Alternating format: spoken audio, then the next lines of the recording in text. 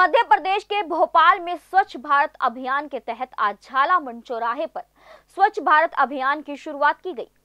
Jodhpur Pali expressway private limited के महाप्रबंधक किरण बाबू व परियोजना संचालक एवं दीनदयाल के मार्गदर्शन में प्रबंधक फिरोज खान ने जय नारायण व व्यास विश्वविद्यालय जोधपुर परिसर स्वच्छता कार्यक्रम का आयोजन किया गया।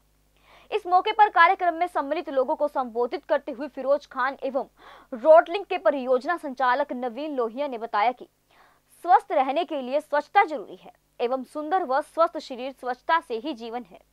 साथ ही दुकान संचालकों से खाद्य सामग्री ढक कर रखने व दुकान के आगे डस्टबिन रख स्वच्छता का ध्यान रखने की अपील की है, ताकि लोगों को स्वस्थ रखा जा सके।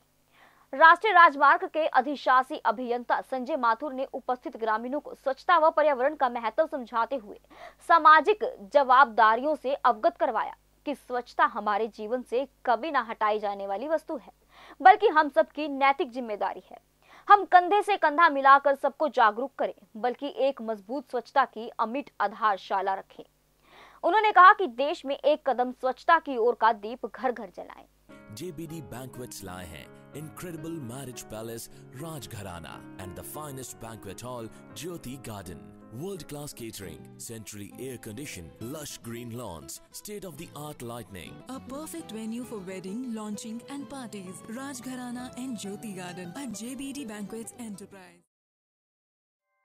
ऐसे ही लेटेस्ट खबरें पाने के लिए बेल आइकन को क्लिक कर हमारे चैनल को लाइक शेयर एंड सब्सक्राइब करें धन्यवाद